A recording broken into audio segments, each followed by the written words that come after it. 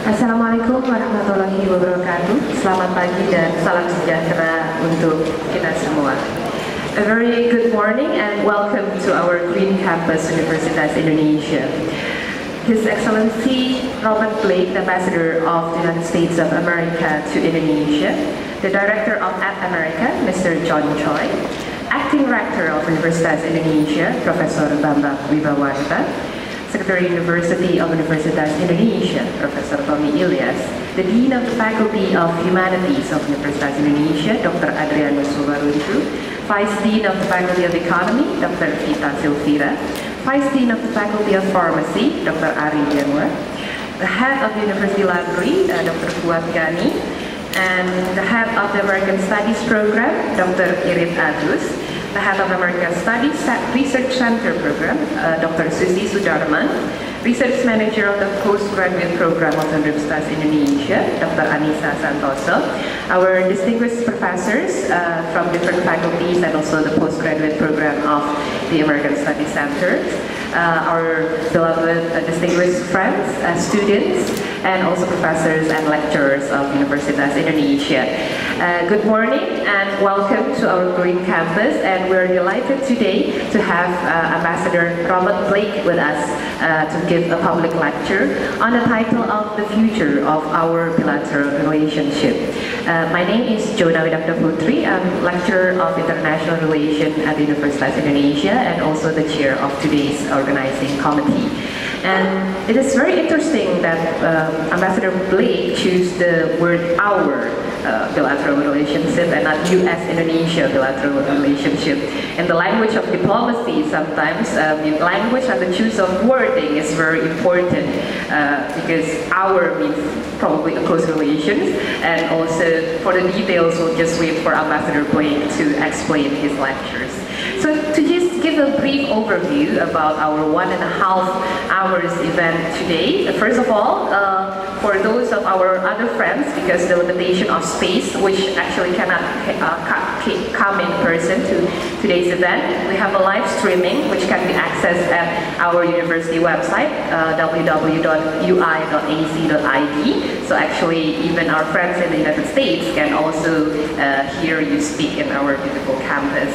And uh, first of all, of course, uh, later on we'll invite our acting directors to deliver the welcoming remarks. And then afterwards, Ambassador Blake will give around 20 minutes of remarks in English, which will be moderated by uh, Dr. Susi Sudarman. And afterwards, we'll, of course, we'll give uh, floor to our friends and students and also professor who is attending today for question and answers. And the best uh, 10 people who raise their question will be given a token of appreciation or door prize a small sort of appreciation from At America. And then, of course, our acting rector will present a token of appreciation and certificate of commemoration for Ambassador Blake. And then photo session, and we will conclude the sessions. So without further ado, we would like to invite Professor Bambang Wibawarta as the acting rector of Universitas Indonesia to present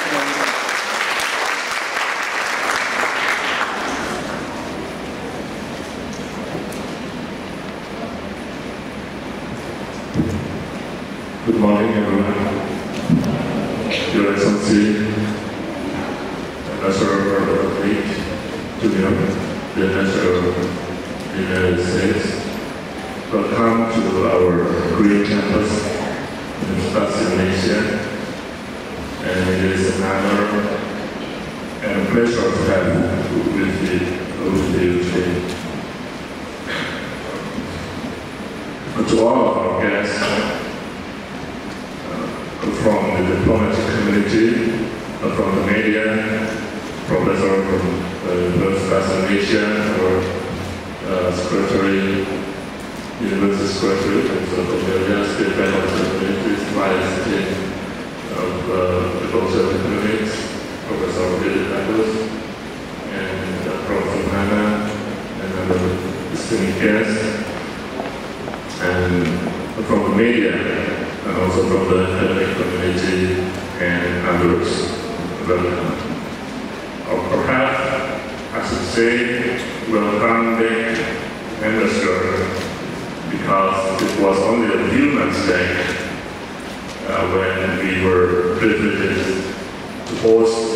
back uh, the were privileged to even in Ukraine, also attended by your counterpart from Russian Federation and the Ukraine. And not all Americans are regular visitors on our campus.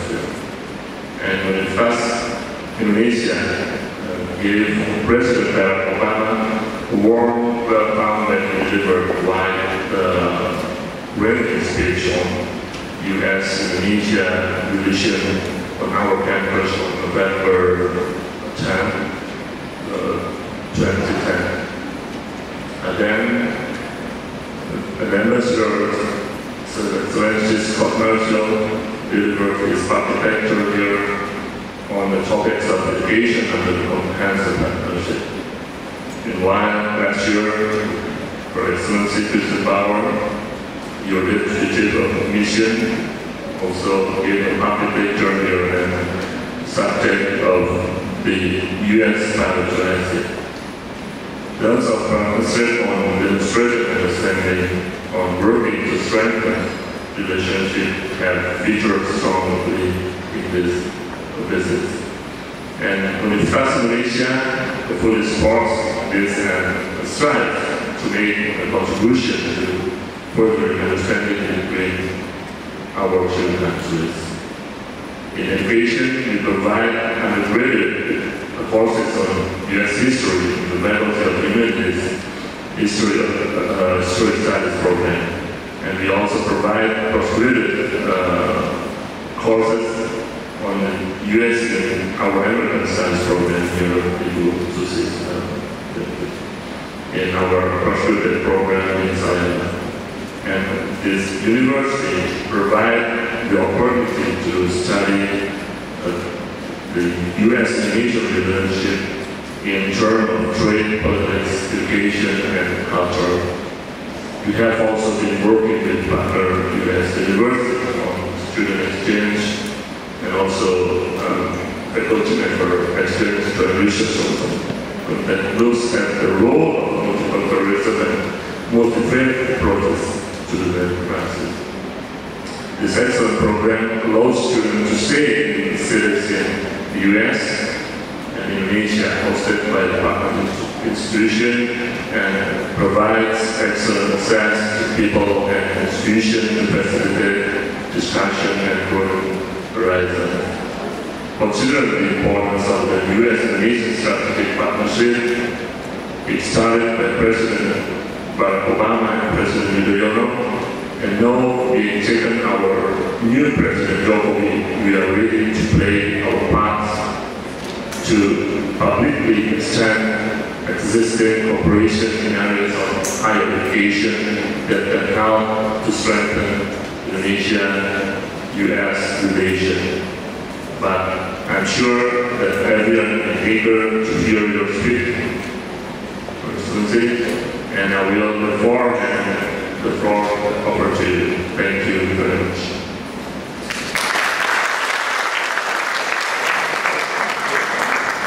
Thank you very much, Professor Wibawarta, for that great remarks. And for the next session, uh, because time is very limited, so we'll invite Dr. Susi Sudarman to please have the floor and also Ambassador Robert Blake uh, to please come forward. So you can see our beautiful student who is eager to hear you speak today. And first of all, Dr. Susi Sudarman will introduce uh, Ambassador Robert Blake.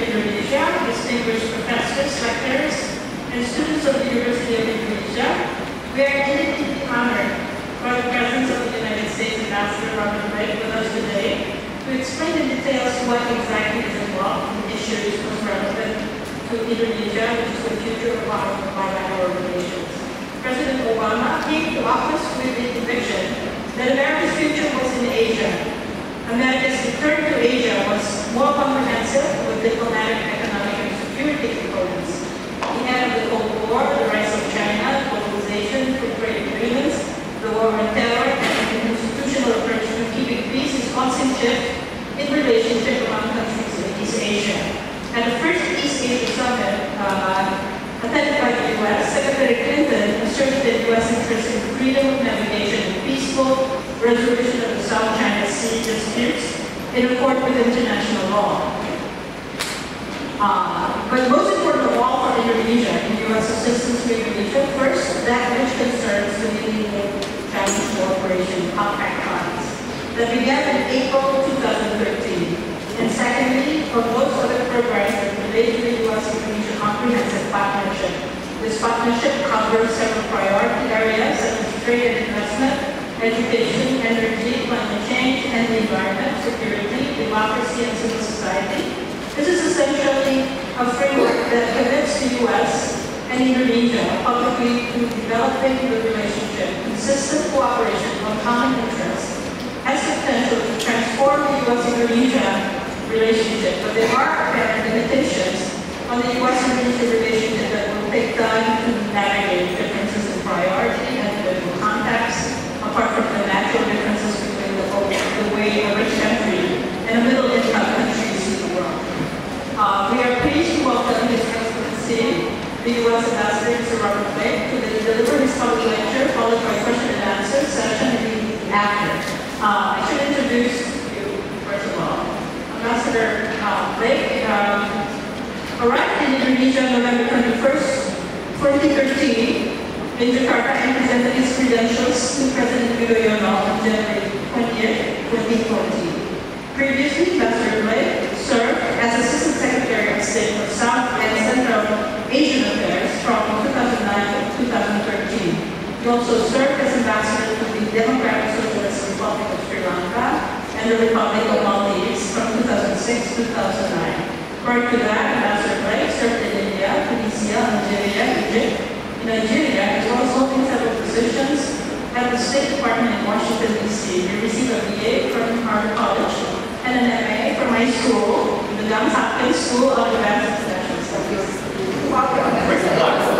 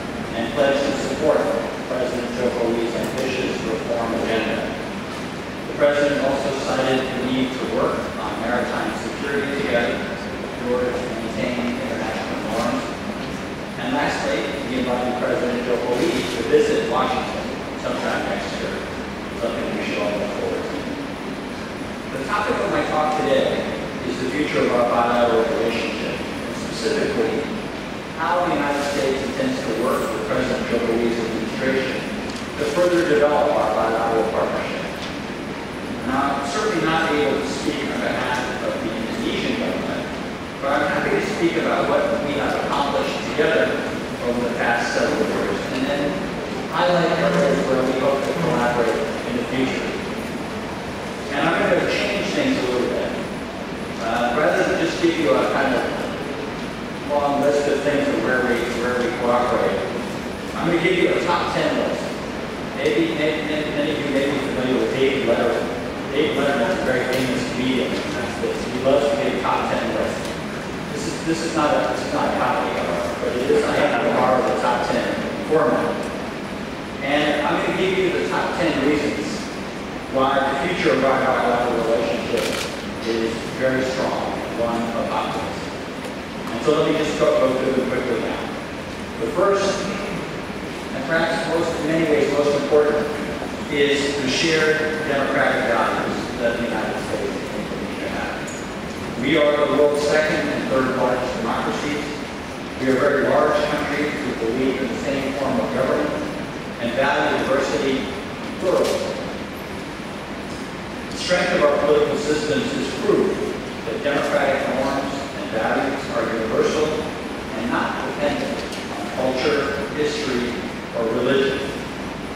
And because we have these common values, we can face the future confident that our two countries will continue to broaden and improve our relations, not just with each other, but with countries around the world.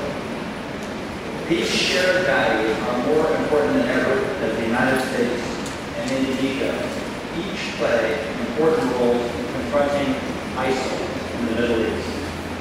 It is critical that government and civil society leaders of the world's largest Muslim majority democracy have rejected ISIL's violent ideology.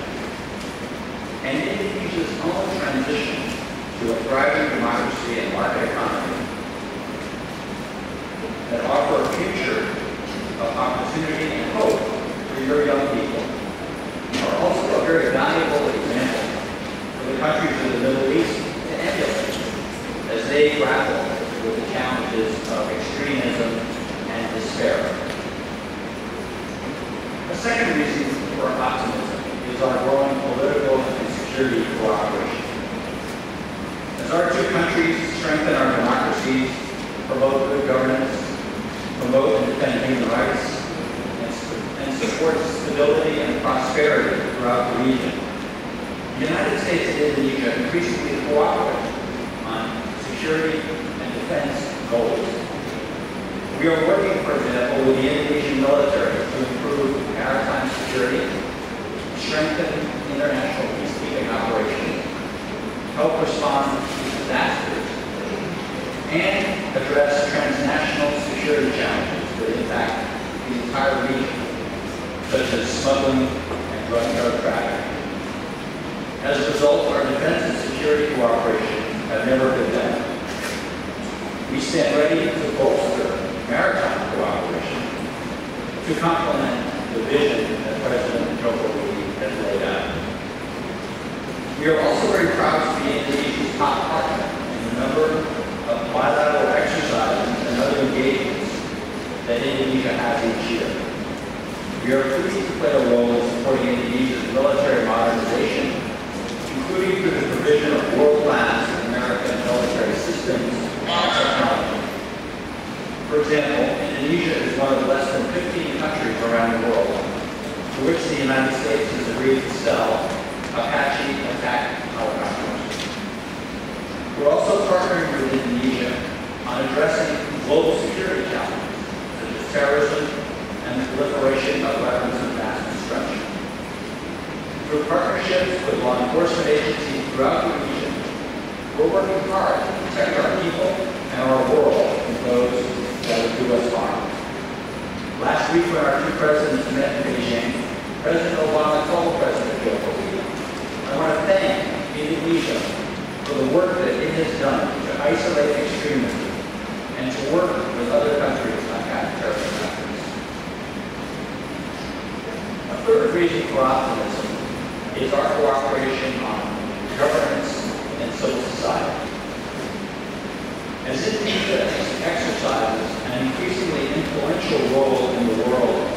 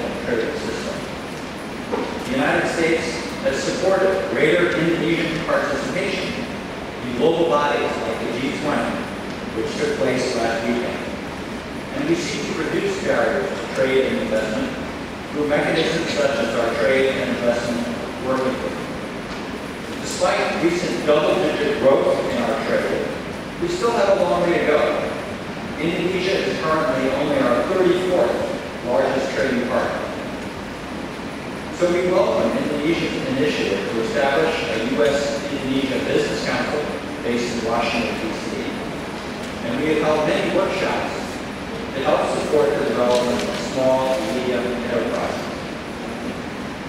U.S. support has helped Indonesian companies to buy 200 new airplanes for, for companies like Lion Air and Garuda to service Indonesia's growing demand for air travel.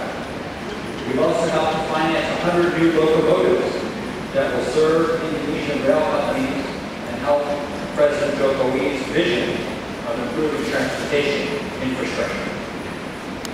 And most of all, Indonesia's future economic promise and its growing middle class are expected to offer American companies significant opportunities for expansion for many, many years to come.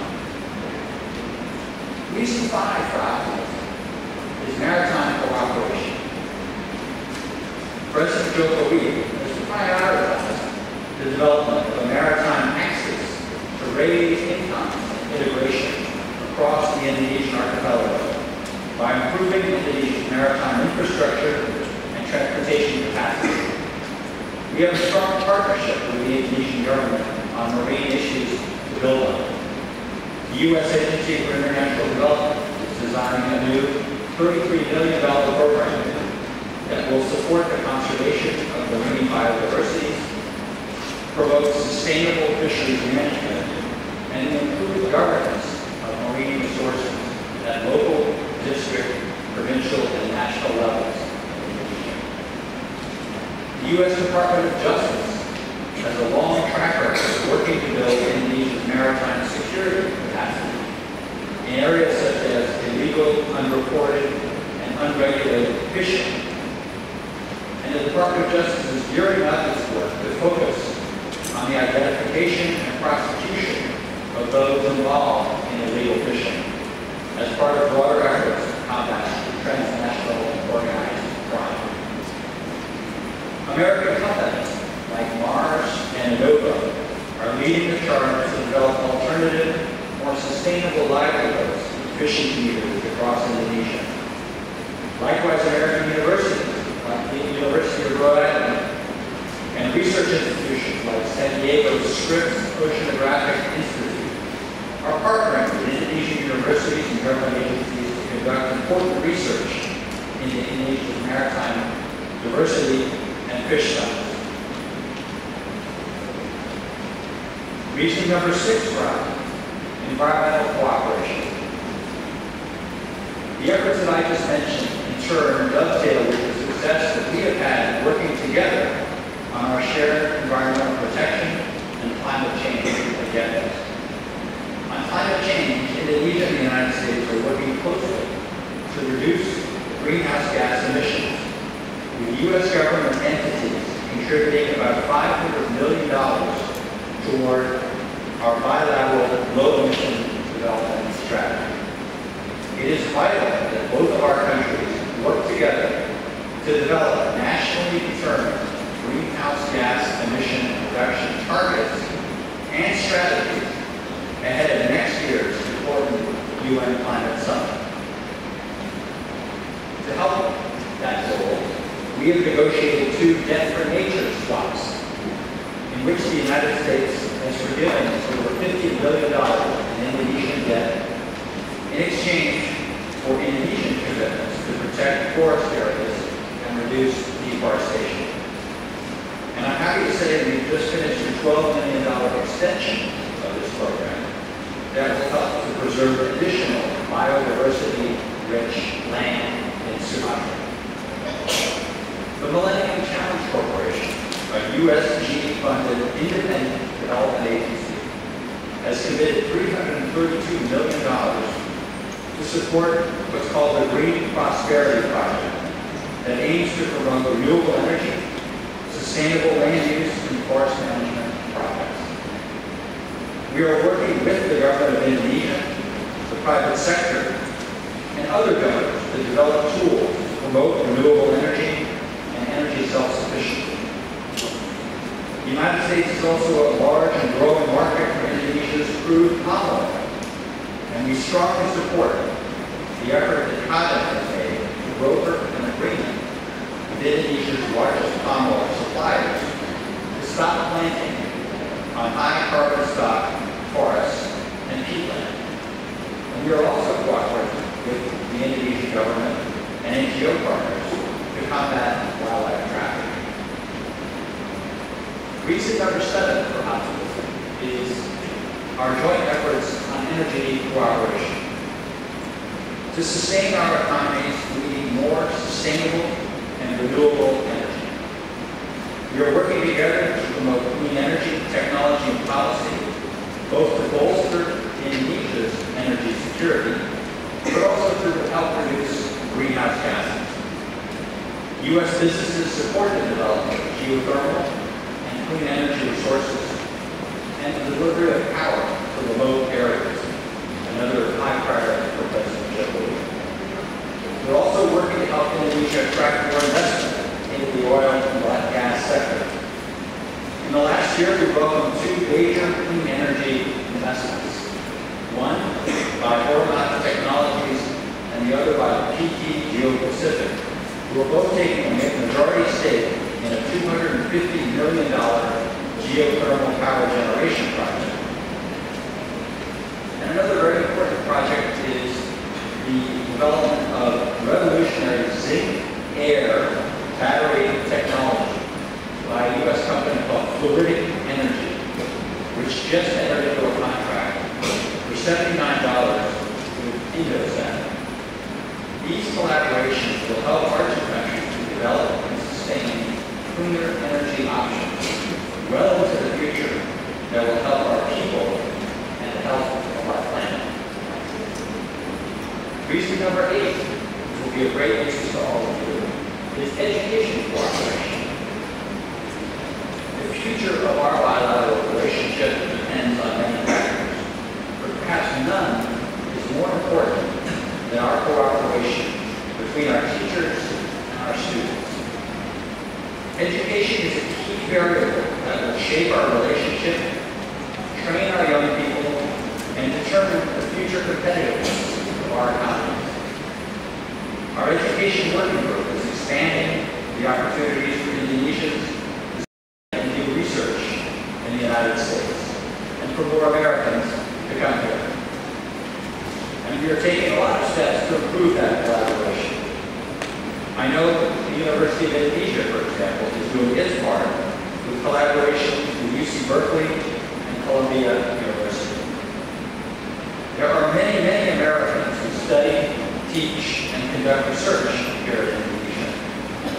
And we have increased exchanges, witnessing a steady increase in the number of Indonesians studying in the United States and the number of Americans who are coming here. But we hope to see much greater growth in the future because people-to-people contacts are thriving. Our Fulbright program, for example, is among the largest in the world. The return of the Peace Corps volunteers who teach English 2010 is a further sign of our commitment to Indonesia's education system and to people-to-people ties. There are currently 89 Peace Corps volunteers throughout Indonesia teaching English in high schools and junior high schools. We also have 16 English language fellows who train teachers and improve curriculum at universities and 40 Fulbright English language teaching assistants who help teach English in some of Indonesia's more remote areas. We're always looking for ways to promote technical and vocational education that will help Indonesians build the skills they need to compete in the modern economy. Last year, almost 8,000 Indonesians studied in the United States. That is welcome, but small for a, for a country the size of Indonesia. There are many, many opportunities to study in the United States, and I want to invite all of you who are watching today to consider pursuing an advanced degree in the United States, because we offer the best combination of quality, value, and diversity in the world. According to a survey of U.S. colleges conducted by the nonprofit Institute of International Education, the U.S. once again is far and away the top destination for foreign university students. The number of international students U.S. colleges and universities increased last year about 8% to nearly 886,000 students. China sent the largest group with 274,000 a very large and impressive number. So for more information about universities and scholarships, I encourage you to check our embassy website or to stop by at America in the Pacific Place Mall. We have a full-time education advisor who is there, whose job it is to help you figure out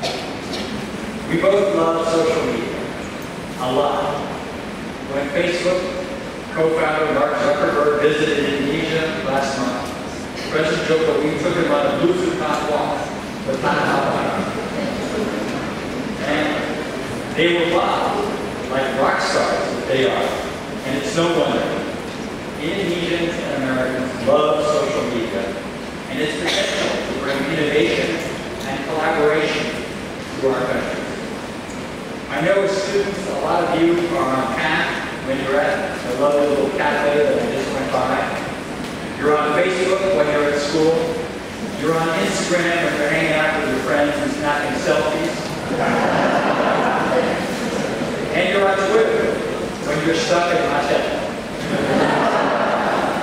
so you must be on Twitter a lot, I know I am. Social media is about collaborative power. And that's what's so democratic and so liberating about it. Facebook and Twitter help us to connect to each other, to our friends, to our families, and to our colleagues.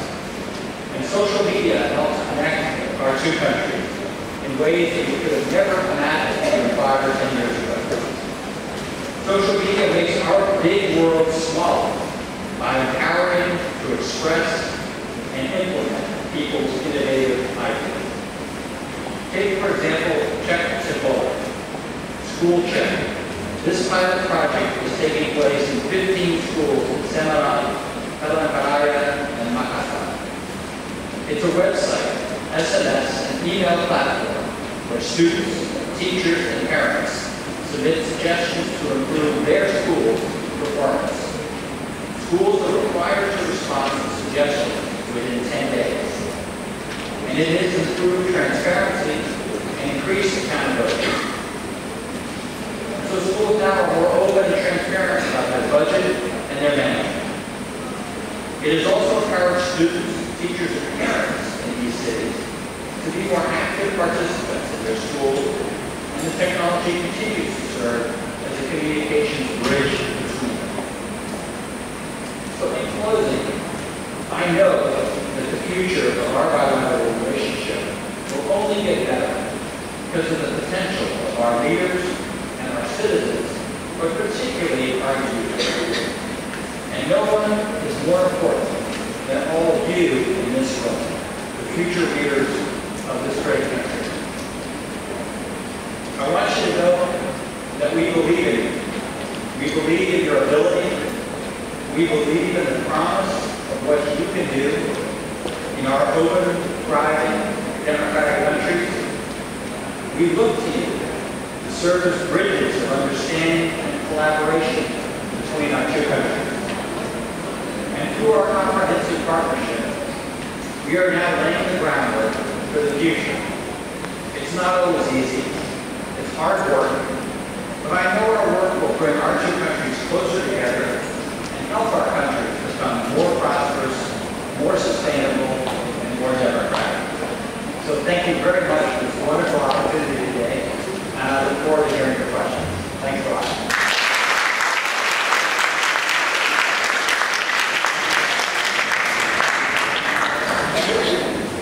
Thank you. I think you put your speeches easy enough to understand. And important points. Uh, so we could revolve around the questions on these 10 important points because uh, I think you guys would like to hear um, voices from the youth because he really believes in me. So let me start with this discussion.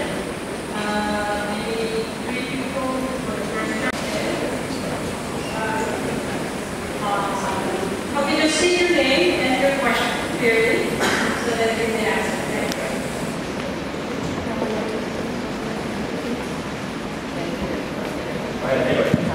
Sorry. Thank you so much. Um, my name is Tanya. I'm a proud graduate of the American Studies in Universitas of Indonesia, and I'm currently serving as the Assistant Deputy Director at the uh, Directorate of North and Central America at the Ministry of Foreign Affairs. So, uh, yes, uh, as you mentioned uh, before, Your Excellency, that um, Mr. President Obama has stated to our President Jokowi that uh, he intends Indonesia to isolate uh, extremisms. And we know that Indonesia and the United States has taken different approach in tackling the ISIS. Uh, where uh, U.S. is inclined to a more hard approach, and Indonesia is known to um, to introduce the de-radicalizations or integrating the so-called terrorists to the society.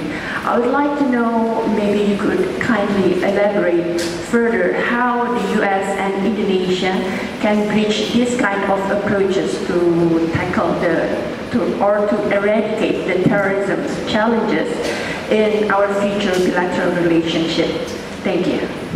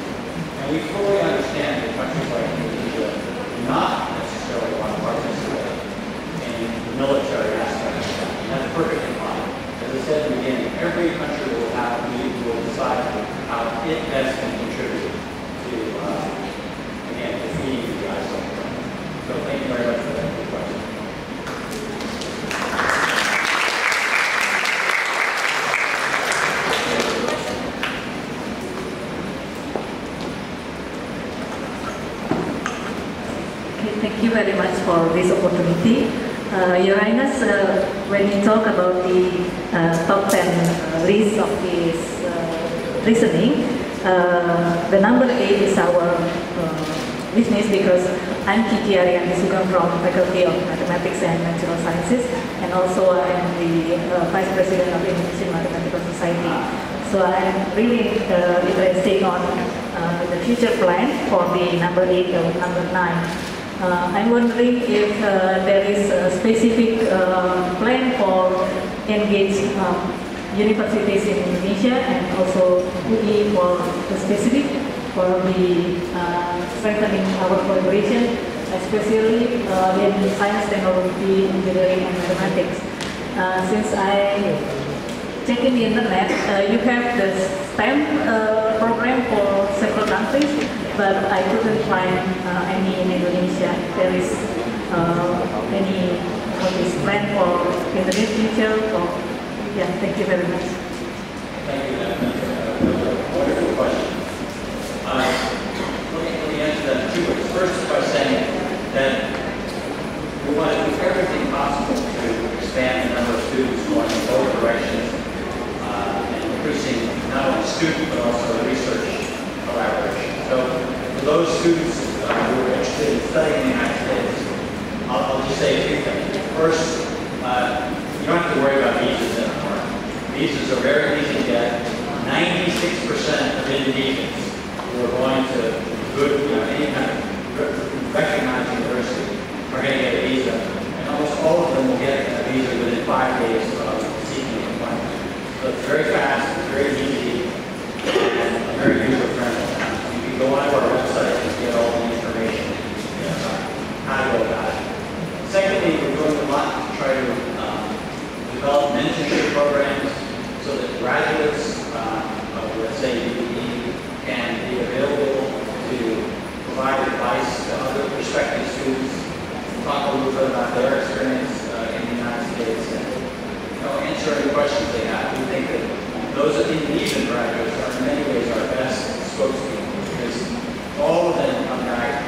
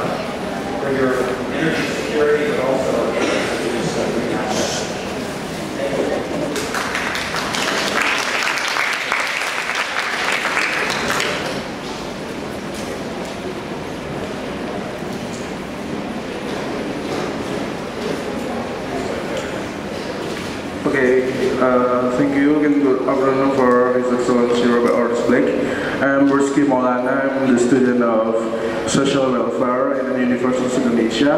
I want to ask about the how is the collaboration uh, between America and Indonesia in social welfare uh, field, especially in Indonesia nowadays and in the future. Thank you. Do you have any specific area? So social welfare is very large. Is there any particular area you're interested in? What is it? Is there any particular area that you're interested in? Uh, love the social welfare in Indonesia, but the poverty or in, in education especially. Yeah. Well, we have a very large number of programs through U.S. Agency for International Development, particularly as you poverty. Um, Maybe, maybe I could frame it in terms of the things that President Joko Widodo. One of them is in health We're, we have very significant programs to help with mater- maternal and child mortality, which are still relatively high here in Indonesia, to help bring down those, uh, bring down those rates. Uh, Secondly, we have a lot of work that we're doing on malaria, tuberculosis, and HIV AIDS. Uh, Not that big a problem in Java, but the further east you go, the the higher the rates of disease are. And if you can provide good quality health care, that's going to do so much to help reduce poverty. So that's a very, very important priority for us as well. And then on the education front, mostly what we're doing is at the university level. um, Because when we devise our cooperative programs, we respond to the requests of the government providing us. And they decided that it would be better for us to help out in the university area than in the primary and secondary education, looks like the World Bank and others already have very significant programs. So I'd say those are the few of the ways that we are helping. But the other, the other side of it is, um, as I said, to try to encourage more business that will create jobs. So one of the things that I do as ambassador is I've been taking a lot of uh, missions of American companies who are based in Jakarta to take them to other parts of Indonesia so they can learn about opportunities. So we've been to Bandung, we've been to Balikpapan, uh, we have future plans to go to Surabaya, uh, and I hope further afield as well. Uh, we've also been out to, we plan to go up to Surabaya, to, uh, to uh, Sumatra. So I think those also will help to increase investment opportunities and create jobs in those other parts of Indonesia, which I think will be very, very helpful.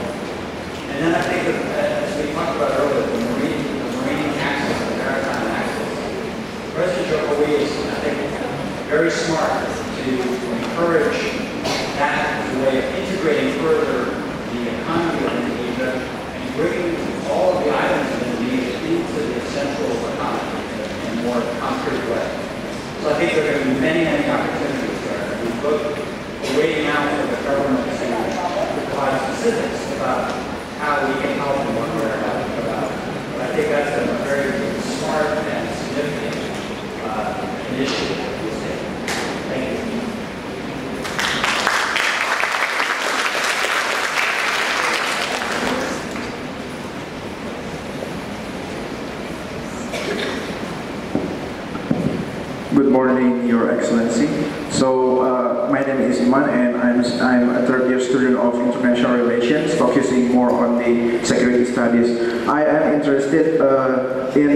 2 and 5 about the maritime and security cooperation. So when we see uh, the Chinese, uh, the rise of China in, in both political and also uh, economic uh, terms, so what, uh, how beneficial this maritime cooperation for United States in balancing uh, the behavior, the policy toward uh, the China's policy towards the South China Sea, since uh, United States doesn't have any military cooperation in terms of uh, foreign deployments uh, in, in, in Indonesia. Thank you. Um, Thank you for that question. I think that um, maritime security is going to become a more important part of our overall security partnership because uh, Indonesia's priorities are changing. For many years, you had your army, which was your largest and most significant part of the uh, Indonesian armed forces. But I think President Jokowi is now going to give greater emphasis to both the maritime, the Navy, and to the Air Force to, uh, again, help provide for your security in the future. Certainly, uh, he has placed great emphasis on ensuring maritime security and stopping illegal fishing within Indonesia's waters. Uh, and that, of course, is a very high priority for any country to do that. Uh, so we're glad to do more in terms of either training, in terms of exercises, in terms of equipment that perhaps we've already provided, for example, coastal radars, but more will be needed to ensure that Indonesia is fully aware of all of the illegal fishing that's going on in all of its waters. We have two-thirds of their country is water. So that's one thing. I think on the, on the question of China, as you said, um, it, it- it's not going to be so much a military response, it will be uh, a multilateral diplomatic response. So the focus of our efforts has been to uh, encourage ASEAN in, it, in its efforts to negotiate a code of conduct in the South China Sea. Uh, Susie, Ibu Susie, when she opened, she talked about how Hillary Clinton had emphasized freedom of navigation and peaceful resolution of disputes. And nowhere are those two priorities more important than in South China. Because a huge proportion of the world's trade passes through the South China.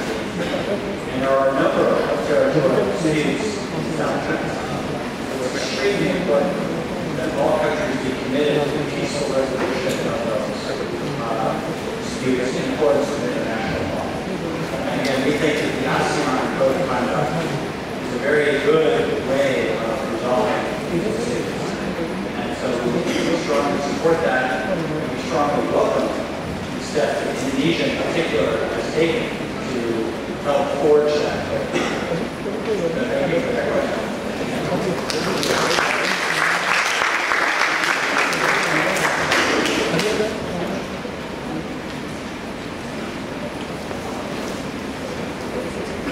Uh, good morning, everyone. Uh, I am Candy from Faculty of Law, University of Indonesia. Um, I heard that US has given many scholarships for Indonesian people who wanted to go for research, graduate programs, and so on. But the amount of them are less than Indonesian children who discontinue their education because of poverty and lack of facilities.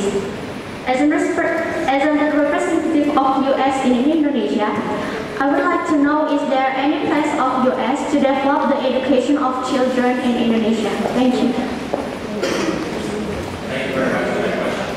Uh, In terms of scholarship opportunities, as a, as a government, we don't provide scholarship opportunities because individual universities are generally the ones that provide scholarships, usually on a needs-based basis. So, for example, my university, Harvard University, they will, they will accept a candidate regardless of what their financial ability is.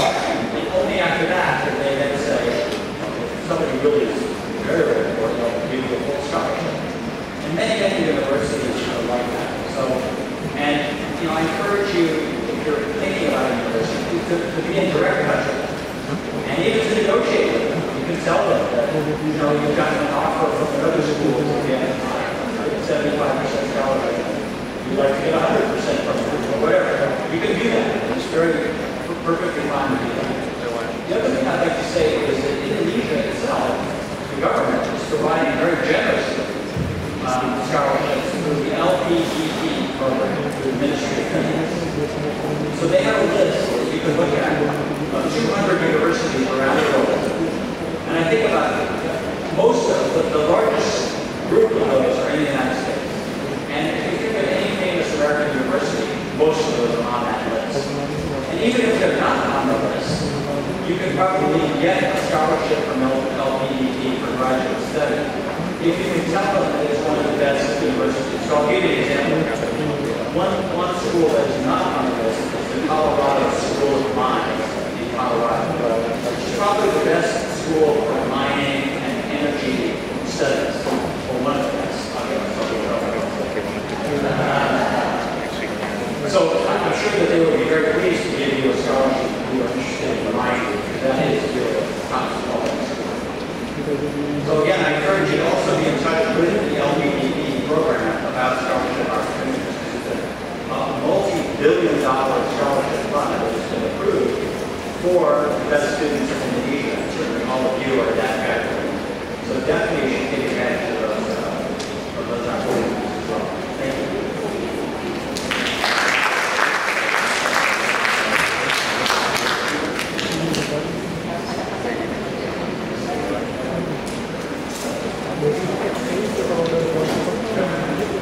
Good morning, Your Excellency. I'm Tres Tama from American Korea Studies Program. Uh, I want to ask you about what are the differences between Democrat Party or Republican Party values? I mean, their influence of major political parties in the United States foreign policies towards Indonesia. I mean, in the area of counterterrorism, climate change, economic and education. I mean, how do they differ? Do their values in the United States foreign policies will differ? I mean, if Democrat dominates the Congress or Senate or vice versa? Thank you. That's a great question. So, um, as many of you know, we just had a very important election in the United States, uh, the midterm election. And uh, as a result of those elections, the Republicans now control both the House, which they previously controlled, but also now the Senate as well. So they control both uh, houses of Congress uh, in, in the United States, which is a very important political development in our, our, our time. Uh, the president, of course, is still a Democrat, Barack Obama. So he has to approve all bills that come before. So, and he can veto bills. And the, the, they have to, Congress then has to get a two-thirds majority to overcome that veto, which is not always easy. But, so there still is a balance of power in the United States. But the, the, questioner's uh, question is very, very important because there are differences. I'd say, let me point to two very important ones that will possibly affect you. Uh, one is in the area of trade. Traditionally, Republicans have been more open to the idea of free trade. And uh, so I think that one of the key questions now uh, facing the United States or facing Asia is this very important trans-Pacific partnership that President Obama and many leaders in Asia have advocated. And one question is what kind of support will, will, will such a trade agreement have in the U.S. Congress?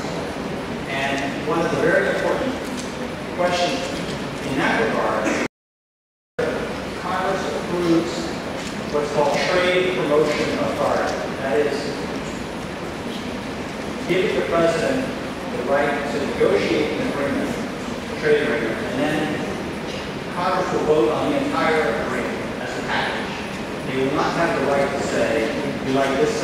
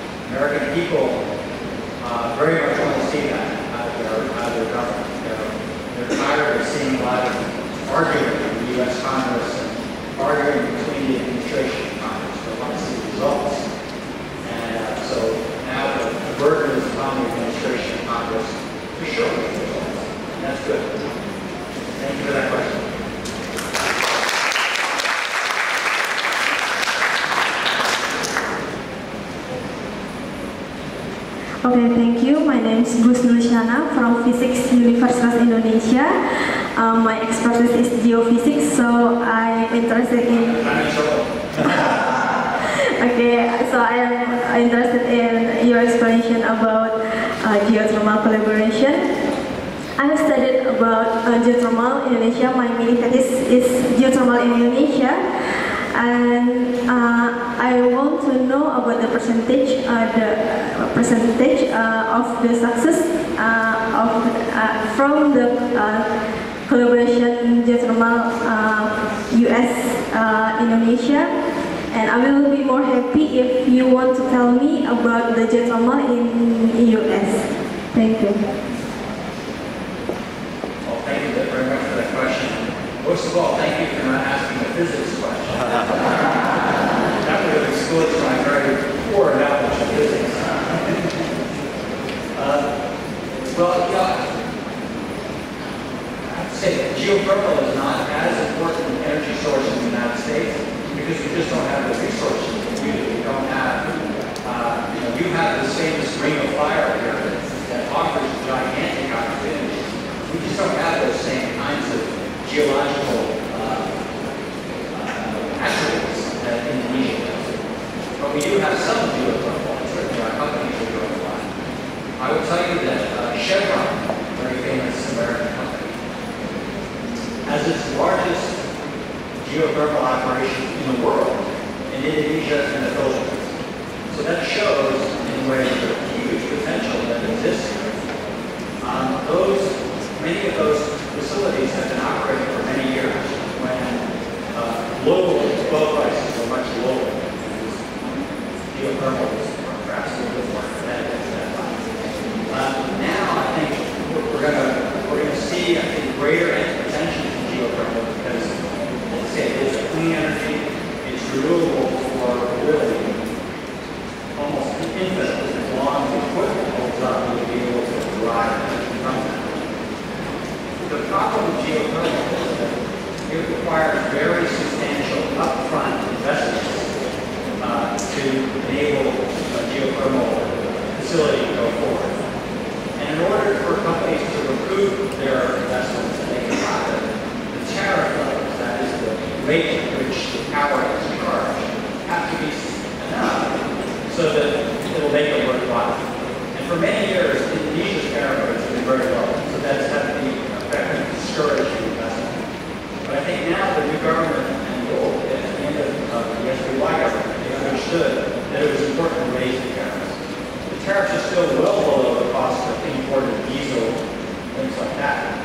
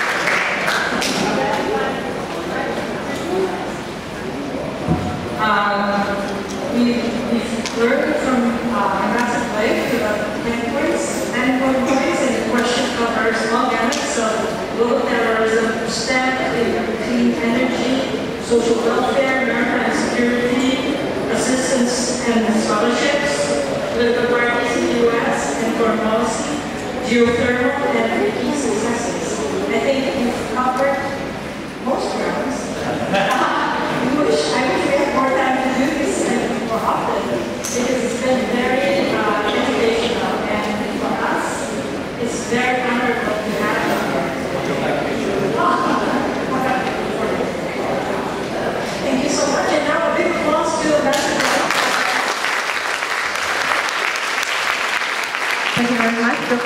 Thank you very much, uh, Ambassador Blake. Uh, you know, the thing about question means that actually people understand things. So you have to have a certain degree of understanding then you can raise questions. So uh, we're very happy that we have 100 questions maybe today, but we don't have enough time. So thank you for leveling up our uh, degree of understanding about our bilateral relationship. Uh, uh, for your generous time and giving lectures and knowledge to our students, uh, we also have a token of appreciation from our university. You wanted to add some words? Just make one more comment about the additional budget. First of all, I'm glad to come back whenever I'm invited.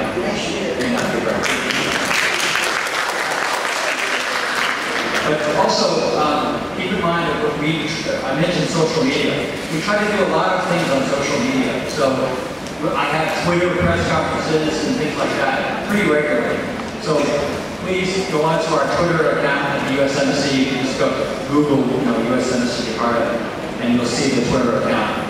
And we'll announce those press conferences. And again, we try to do them about once a month now. So you're always welcome to join one of those and, you know, ask any question you want. You don't have to be polite. We always. So thank you. You. So we'll be looking for the founder of Twitter after this because the founder of Facebook, Mark Zuckerberg, was here. So afterwards, maybe the founder of Twitter can also come to Indonesia.